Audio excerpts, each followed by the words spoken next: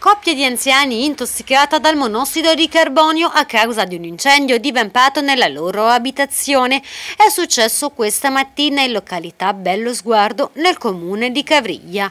Marito e moglie sono riusciti a mettersi in salvo ed hanno chiamato i soccorsi. Entrambi sono stati portati dai sanitari del 118 al pronto soccorso della Gruccia per una lieve intossicazione. Le cause che hanno provocato il rogo sono ancora in corso di accertamento da parte dei vigili del fuoco di Montevarchi intervenuti sul posto per domare le fiamme e bonificare l'aria. Presente anche la polizia municipale. L'abitazione ha riportato ingenti danni.